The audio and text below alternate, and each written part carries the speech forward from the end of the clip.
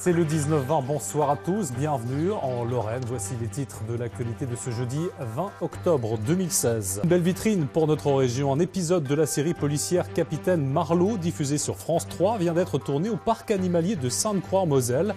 Et c'est Sandrine Bonner qui, pour l'occasion, a enfilé le costume de directrice du parc.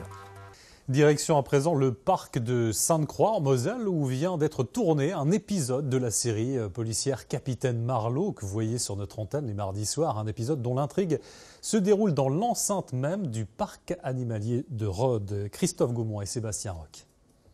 Et puis d'un seul coup, elle entend aboyer, elle, elle entend aboyer et elle va par là. José Dayan, la réalisatrice, et le capitaine Marlowe et son inséparable Chapka en pleine préparation d'une des séquences tournées au parc de Sainte-Croix.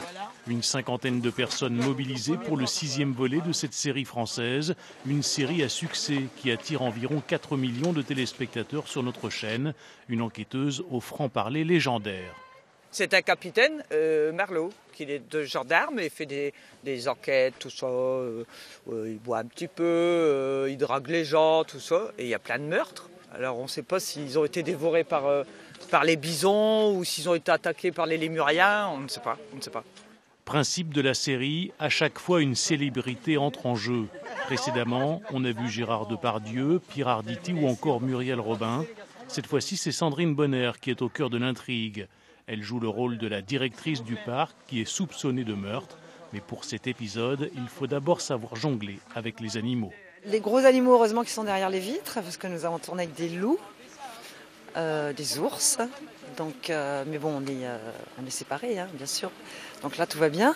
Et puis, puis ben, la, scène que vous venez de voir, là, avec ces petites bestioles, ben, ça a beau être plus petit, ça reste impressionnant quand même. Moi, je suis une trouillarde des animaux car outre une météo capricieuse, ce sont parfois les animaux du parc qui ont donné un peu de fil à retordre à l'équipe de tournage pendant ces trois jours. Jusqu'à présent, ça se passait pas mal, mais euh, on a vraiment des problèmes avec les animaux parce que forcément, euh, ils ne sont pas disponibles au moment où on en a besoin. Il leur arrive de dormir. Euh, de ne pas être là, de se cacher dans les arbres. Et donc c'est un petit peu complexe. Voilà. À part ça, ça avec les acteurs, c'est beaucoup plus simple. Suite du tournage en Alsace, dès ce soir, les animaux du parc retrouveront un peu de quiétude. Quant aux téléspectateurs de France 3, ils pourront découvrir cet épisode dès l'année prochaine.